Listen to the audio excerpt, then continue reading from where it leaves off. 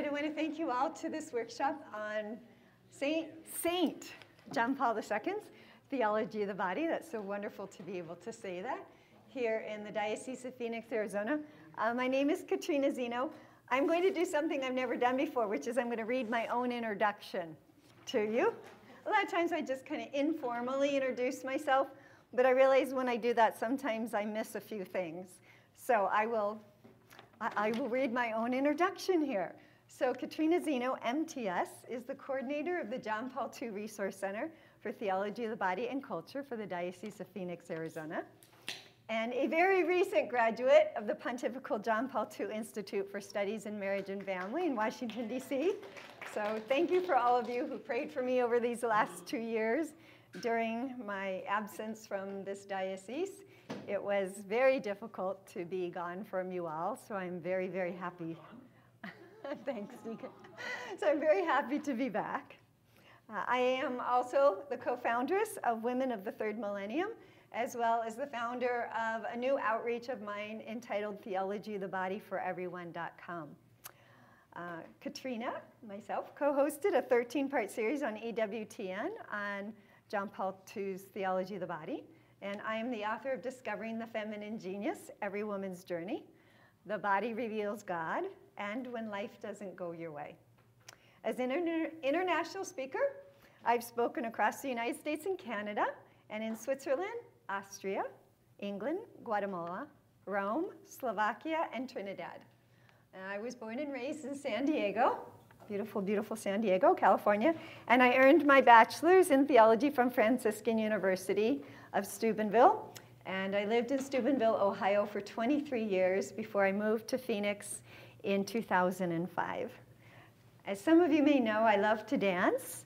So I'm also a swing dance instructor and an Argentine tango enthusiast. I also love to dance salsa, and I'm the blessed mother of a now married son, Michael. So please join me in welcoming Katrina Zeno.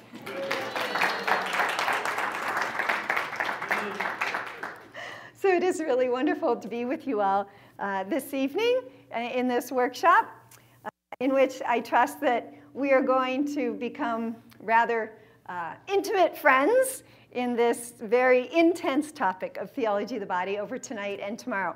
However, I wanted to start off with something that uh, is uh, not quite so intense. It is a little video entitled She Poked My Heart. And I just asked you to watch it because it's something that I'm going to refer back to. And every once in a while, it's helpful to use an image rather than words. You're going to hear lots of words from me. I love to teach, I love to speak.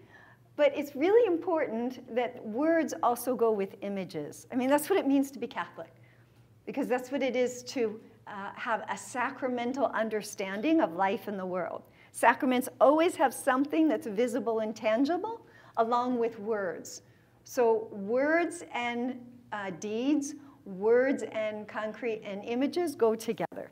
All right, so um, it, it, it might be hard at first to understand what they're saying, but what they're, they're arguing over whether it's sprinkling or raining outside. I think those are the two. So you'll notice that that's what they're arguing over, but be sure to watch um, to the very end.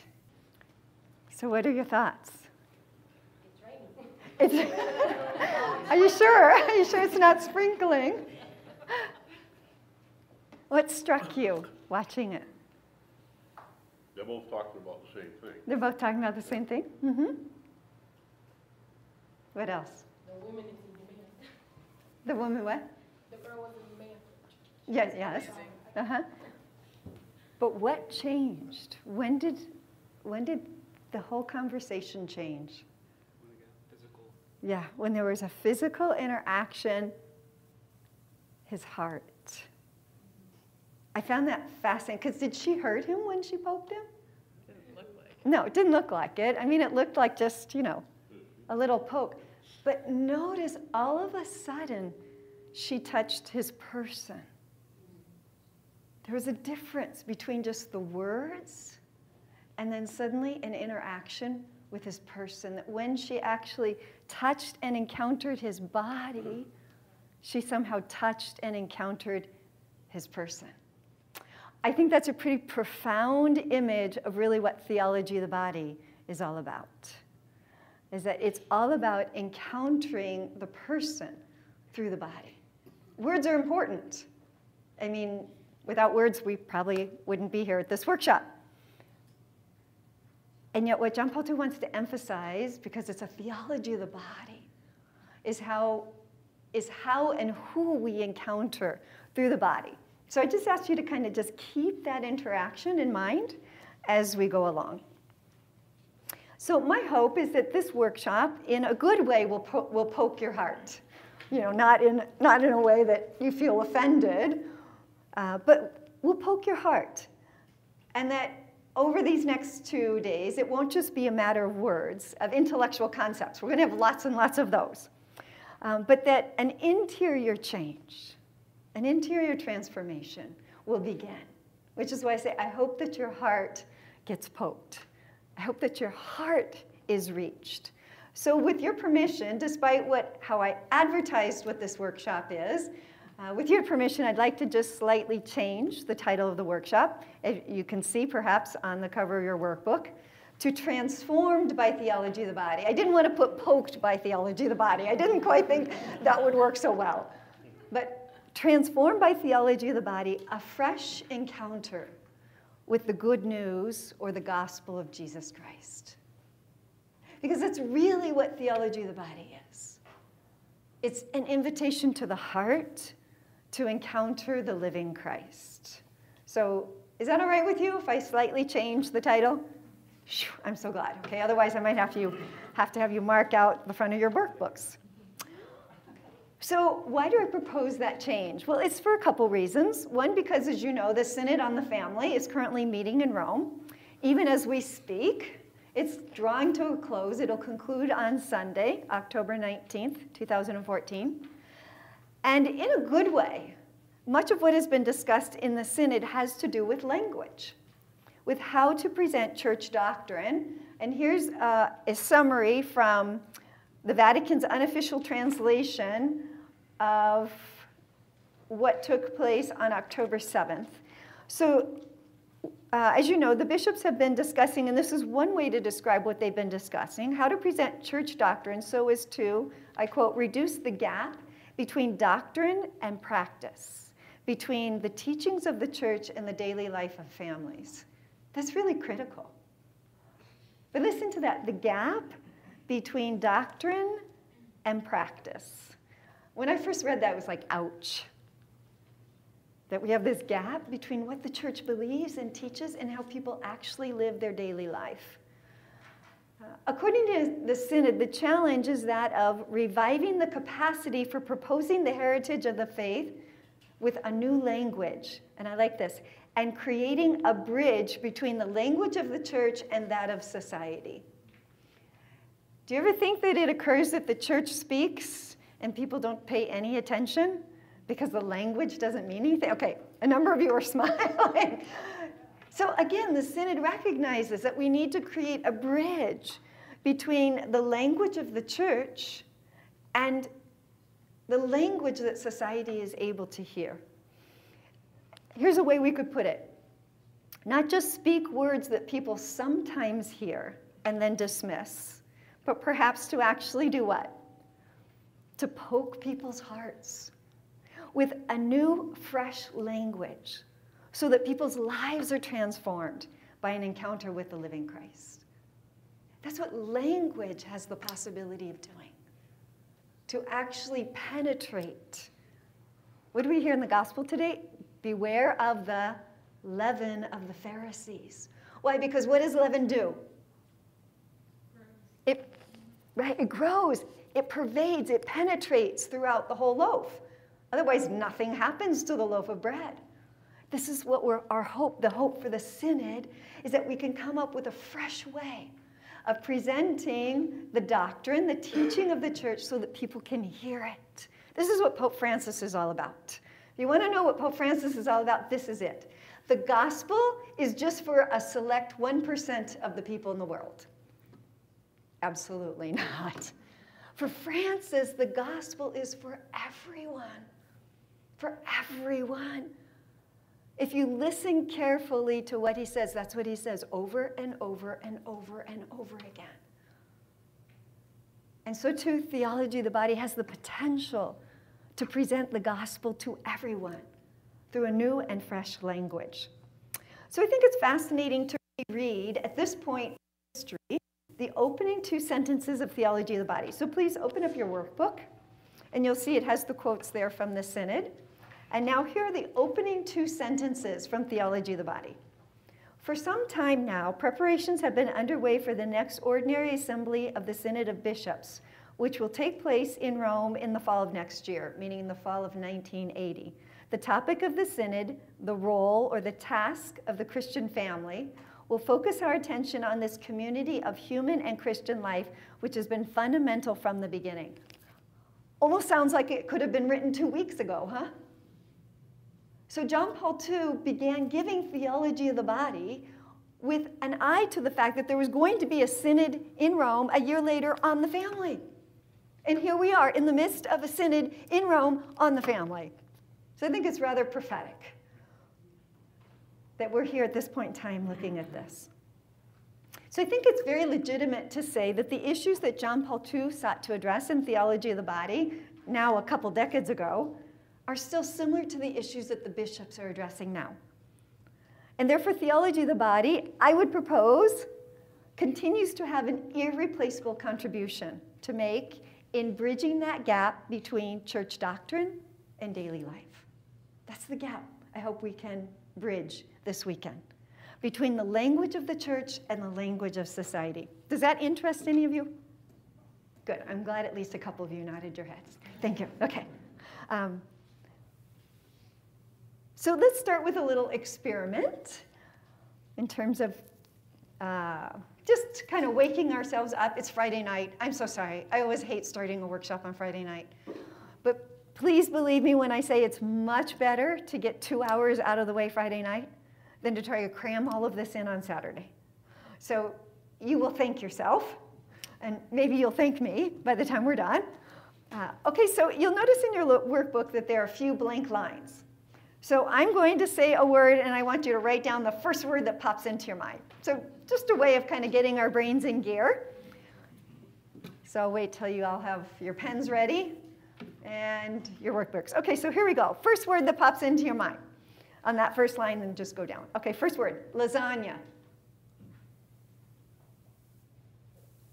Next word, snow. Next word, wrestling. Next word, blue.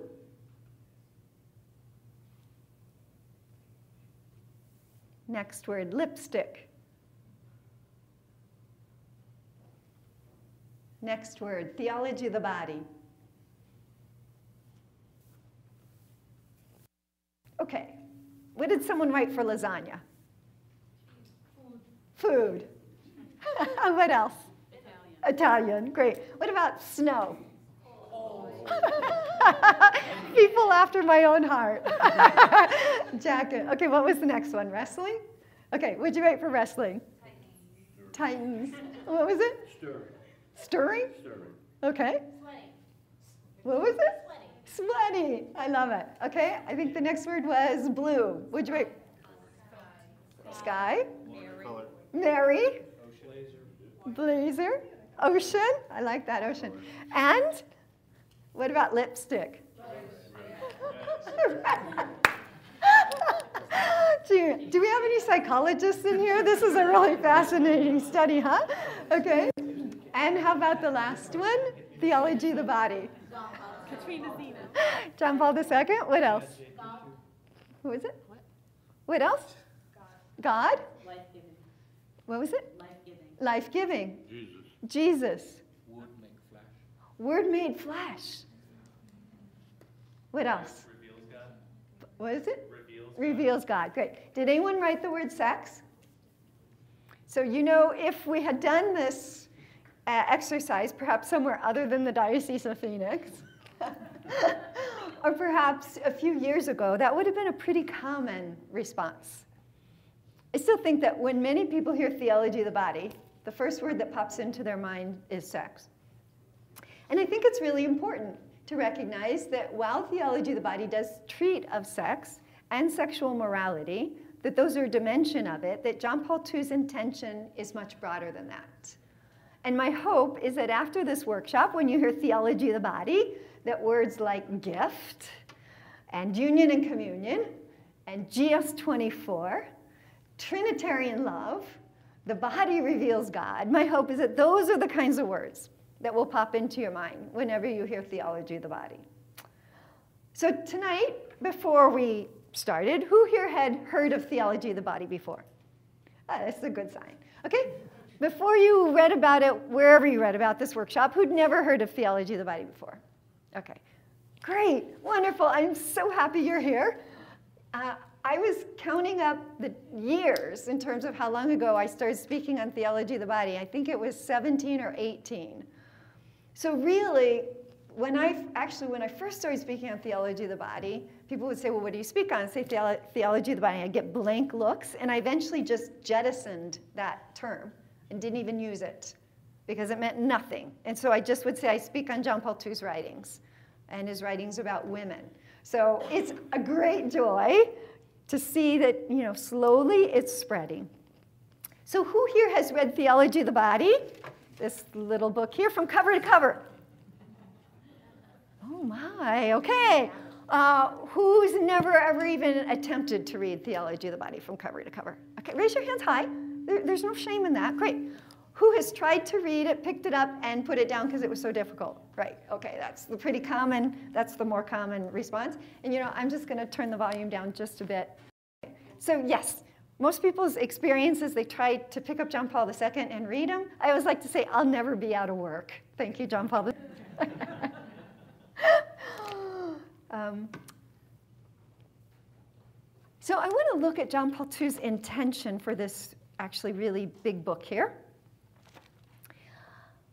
Uh, as I mentioned in the introduction, I'm an author.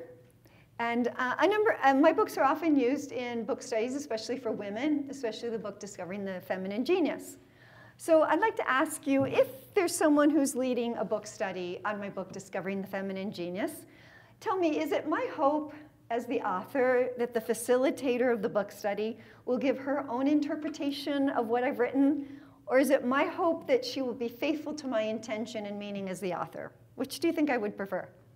Second. Yeah, the second. I hope that she be faithful to my intention as the author.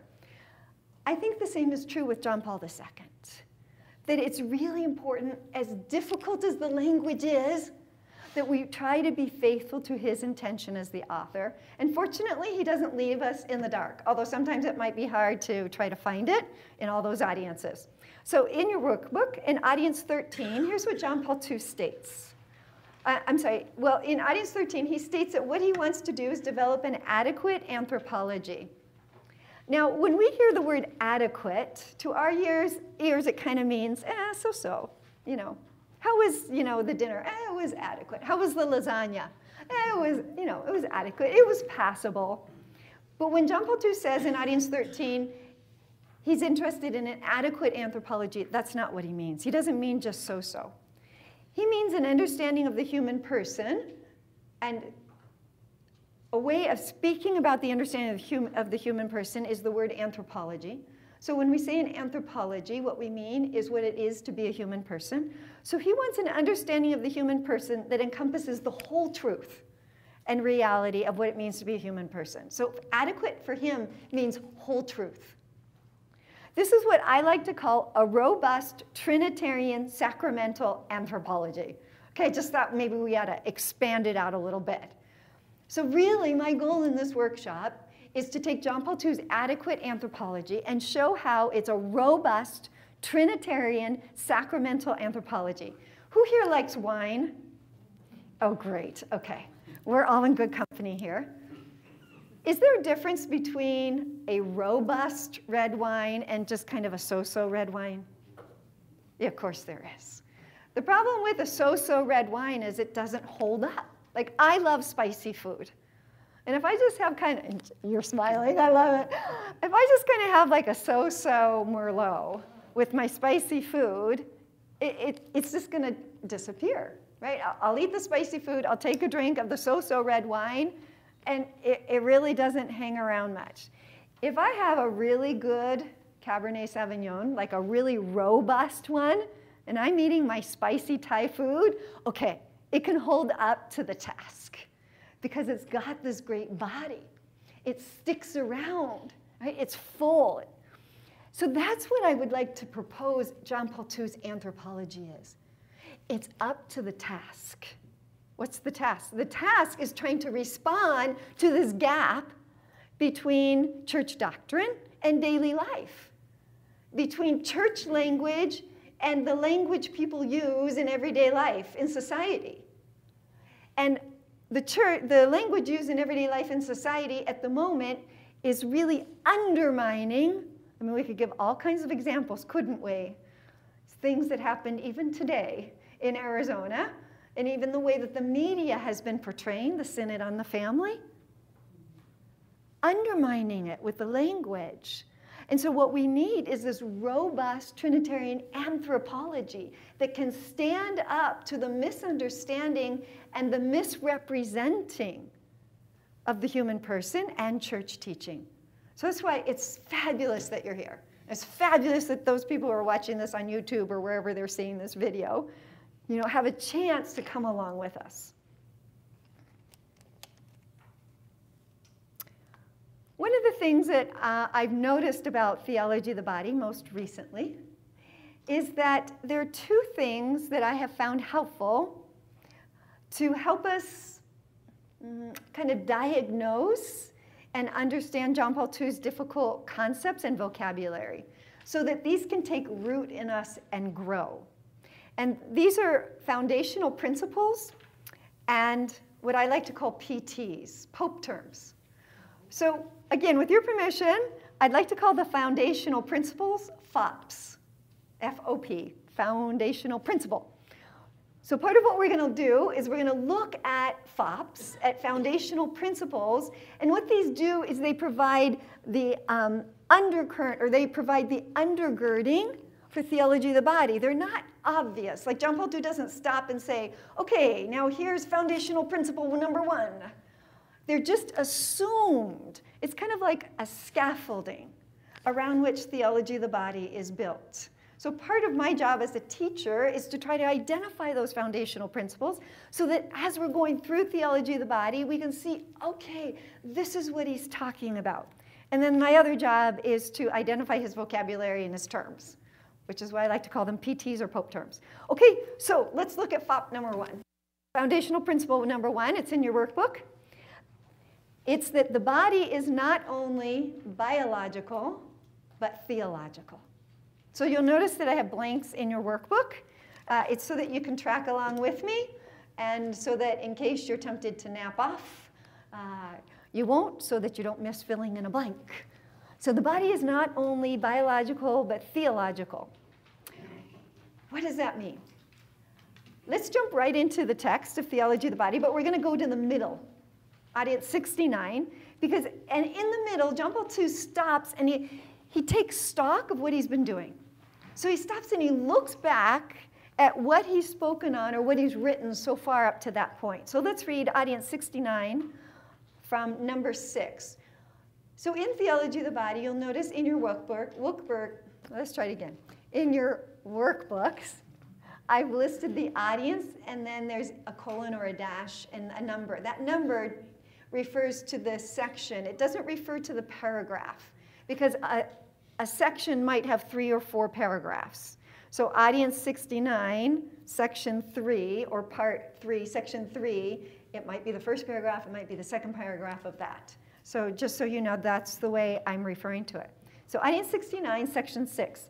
It is clear that what is at issue here is not the body in the abstract, but man, who is both spiritual and bodily we can make a certain theological reconstruction of what might have been the experience of the body on the basis of man's revealed beginning, and also what it will be in the dimension of the other world.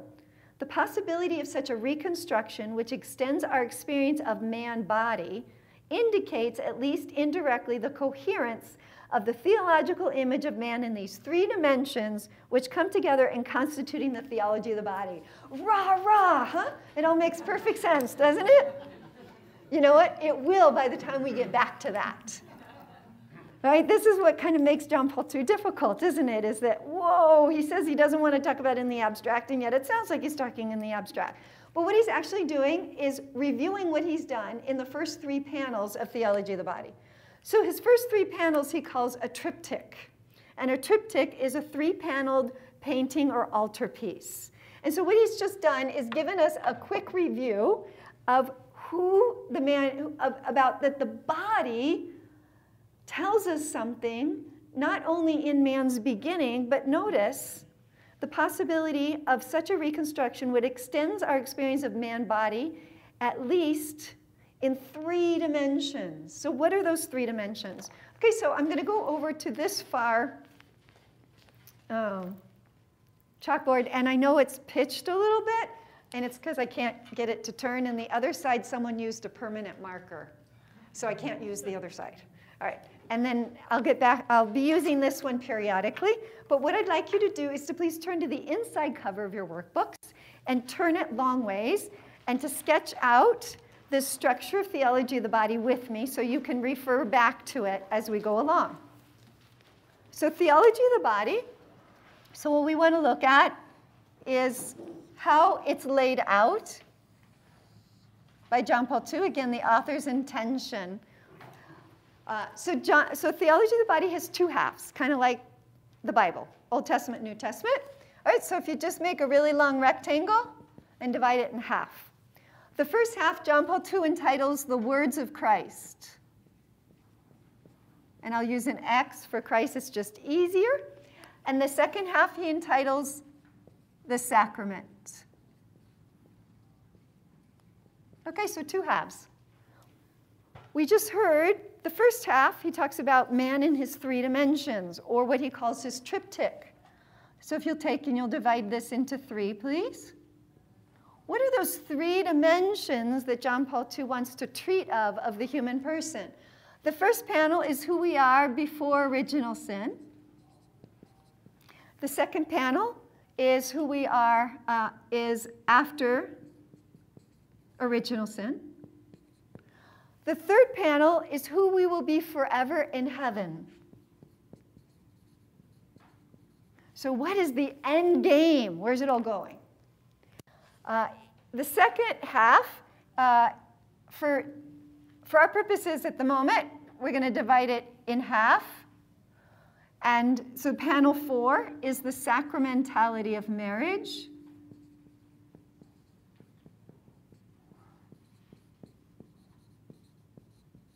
Sacramentality of marriage. And then the very last panel are his reflections on Humanae Vitae. And if you're not familiar with Humanae Vitae, is Paul VI's encyclical, 1968, on human life. Most often referred to as the birth control encyclical, but that's really incorrect. It's about the responsible transmission of human life. So that's the sketch of where we're going over this workshop.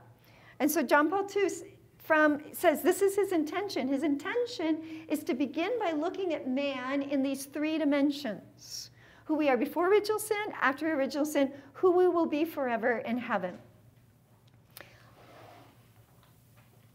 So when John Paul II says the body is not only biological but theological, what he means is it's not sufficient to define the human person only according to what's material or what's physical. So, in creating this robust Trinitarian anthropology, if it's not adequate only to refer to what's material or physical, does that mean that what's material and physical is unimportant? That the natural we just kind of leave behind and go only to the supernatural, only to the spiritual? The answer is no, not all. And that leaves to FOP number two, foundational principle number two. Who can complete this sentence for me? Grace blank nature. What is it? Perfects. Grace perfects nature. For years and years and years, I heard that quoted as grace builds on nature. That's incorrect. It's actually grace perfects nature. If we grasp this truth, I think it can transform the whole way we understand ourselves and all creation, and especially the body. Because the Catholic Church teaches that grace, what's spiritual, doesn't get rid of or discard or overwhelm or override nature so that human nature becomes irrelevant and only the soul is important. I think, unfortunately, this is a very, very common understanding that what really matters about you is your soul. And your body is just kind of extra. It's really not critical. Really? What happened? Poked my heart. Poked his heart. The body matters. That, this is what the Catholic faith, Christian faith, understands. Is that when it comes to the visible world, here's what's interesting you can't have the supernatural without the natural. In the created order. We're talking about in this created order, you can't have the supernatural without the natural. Why do I say that? What happens when angels want to come into this created order? Do they appear as pure spirits? No, what do they have to do? They have to take on a body. Do you see? The supernatural, in order to express itself in the created order, has to take on the natural. You can't